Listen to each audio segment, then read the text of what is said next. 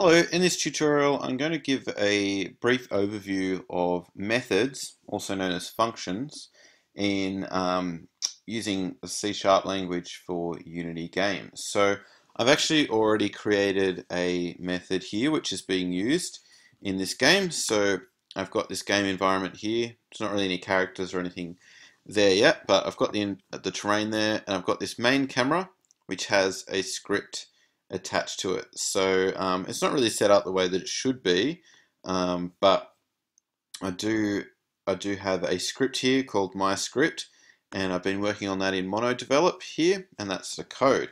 Um, so basically, um, what you should do first before watching this video is just read the information over methods. So what methods are, um, how to create methods, and how to call methods, and then hopefully this video will make bit more sense because I'm not going to go over everything in this video. So make sure you read all that stuff first. But basically, I'll give a bit of an overview. So I've got the start method here, and I've got the update method here, and I've got another method that I've actually created. So I've got the two default methods that are already in the code to start with. And then I've created a new method here, which is called apply damage. Now, um, when you create methods, there's two different things that you can set up before you actually um, code, you know, what will occur when that method runs or is called on. So the first thing is a return type, which we have here as an integer or int.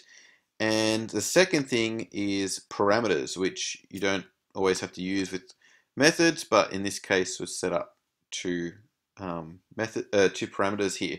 So a return type is um, basically methods are able to return a variable back to the code that called it. Okay, so um, this this method is going to return back a value um, to whatever code called it, which is up here in the start method. We'll have a look at that in a sec. But um, so the return type here is an integer. It's going to return an integer value back. This is the method name here. It's called apply damage. And then there's two parameters separated by a comma. And those are integers. Okay, one is called damage amount and one is called health. So that's setting up the actual method there.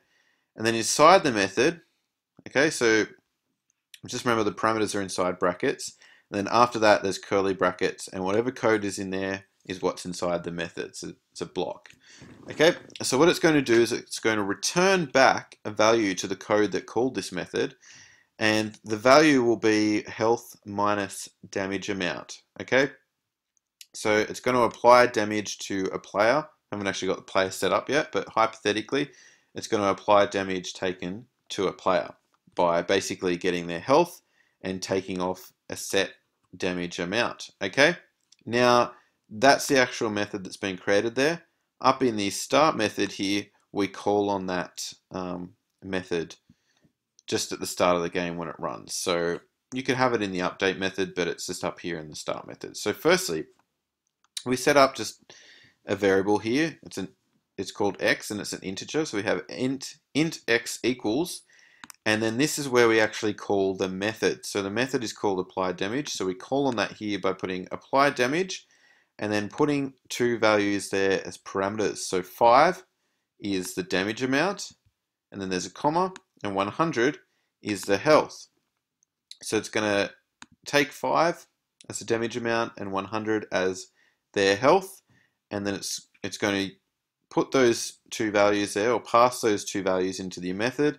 The method is then going to return health, which is 100 minus damage amount. So 100 minus 5 is 95 and then it's going to print player health as a string there and then um, the value of x which is 95 okay so that's basically what's going on there. So there's a bit of concatenation going on here because we've got a string here and then a value an integer value that's being um, displayed. It's going to print to the console. So that's pretty much it. We've got a method here that's defined and then we've got code inside the method. It's going to return an integer value back to this code here that calls it and the value is basically going to be the result of a health minus damage amount and those values are actually taken from here. So 100 minus 5. Alright, so then it should say player health 95. Alright, so save that.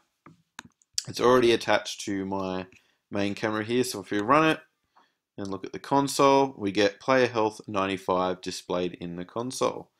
Alright, that's um, pretty much it. That's how to create a method and how to call on a method. So methods could be much simpler than this. A method could just do something very simple. It mightn't even take any parameters.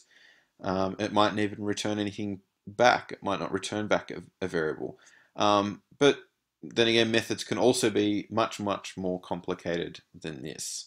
Um, basic rules of a method are that the method name shouldn't have any spaces in it, should be a meaningful name, um, and methods should also be used for one purpose. Um, so it shouldn't be used for multiple purposes. A method should just do one clear thing. So in this case here, it applies damage. It just gets a player's health and then takes off a damage amount and returns that value back.